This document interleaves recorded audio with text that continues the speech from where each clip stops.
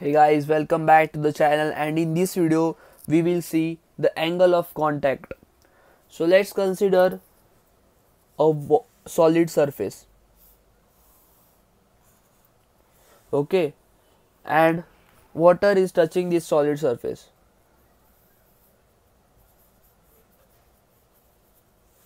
Now what happens is that due to the surface tension a molecule which is present over here it is touching the water molecule as well as the solid molecules it will experience a force by the solid molecules as well as these water molecules now a force experienced on this molecule due to the solid will be in the horizontal direction and a force experienced on this molecule due to the water molecules will be at an angle of 45 degree to the solid surface.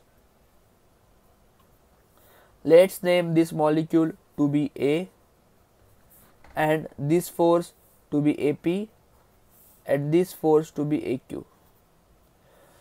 Now due to these various forces the water makes different types of angles with the solid like some sometimes it might make this angle or sometimes it makes this angle or sometimes it might just stay flat. This angle of water with the solid is known as the angle of contact. Now this angle of contact depends on different cases. Let's understand the first case. So in the first case what happens is that the liquid partially wets the solid so this is our solid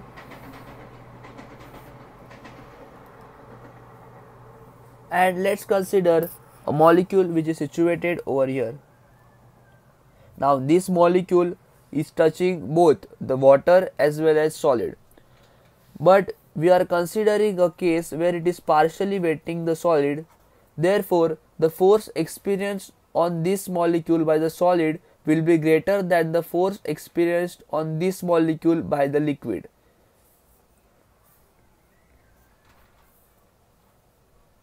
So this force will be bit smaller. Now here we have to draw a resultant of both these forces.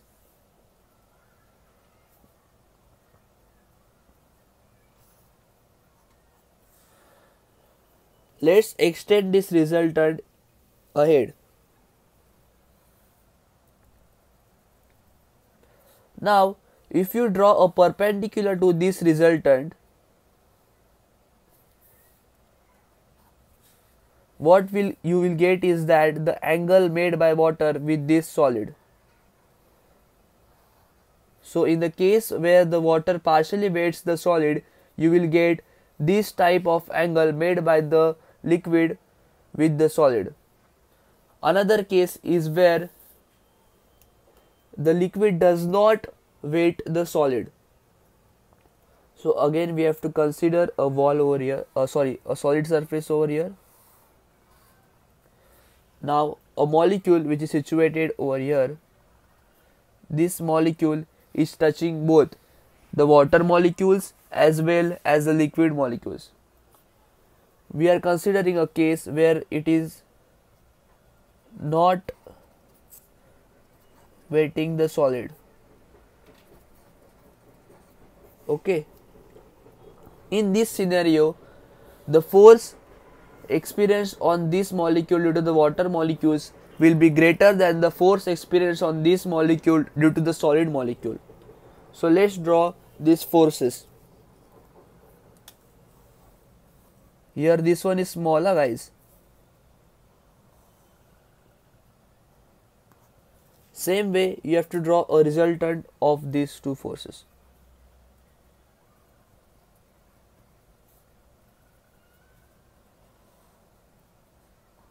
okay?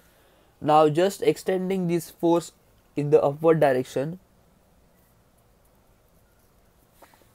We have to draw a perpendicular to this resultant.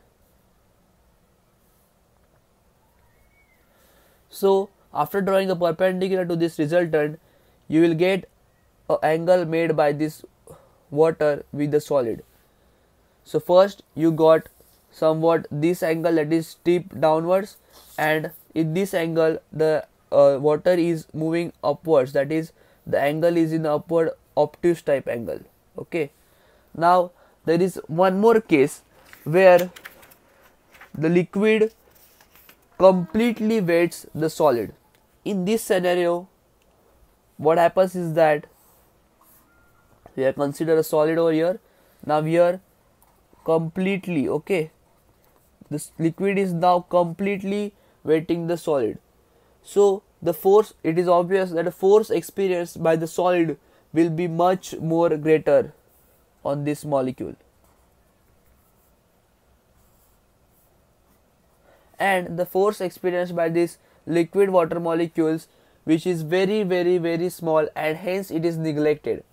So automatically this becomes our resultant. Okay? So this is our resultant now and if we draw a perpendicular to this we get somewhat very very very steep angle made by the water with the solid. Now let's understand the different characteristics of this angle of contact. So for any given solid or liquid or air molecules this angle of contact will remain the same. Suppose you are considering a cotton cloth and a kerosene the angle of contact will always remain the same.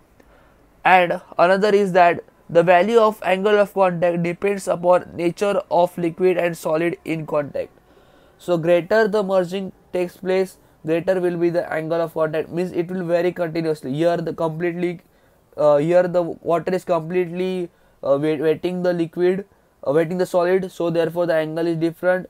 In another case where the partially wetting of liquid solid is taking place the angle is different. The third characteristic is that it depends upon the medium which exists above the free surface of liquid. So this is the free surface of liquid. Here we are considering air molecules. Now uh, one doubt must have came to mind that these air molecules will also try to attract this water molecule. But the attraction of air molecules on these water molecules is very very very small. Therefore we neglect these forces of air molecule. Okay. The another one is that the angle of contact changes due to impurity. It's obvious if instead of water you are having you are added a salt in it the water molecules the number of water molecules will change over here and thus the forces due to the water molecules will also decrease. The another and last characteristic is that the angle of contact changes with temperature. If there is a temperature, there will be vaporization taking place, and again, this water, the force due to these water molecules will decrease. So, guys, this was all about your angle of contact and its characteristics. If you have liked the video, then do like uh, share and comment uh, below if uh, whatever is missing. And subscribe to the channel and you will find all the videos related to your 11 12 physics chemistry as well as engineering. Guys thank you for watching this video. Do subscribe to the channel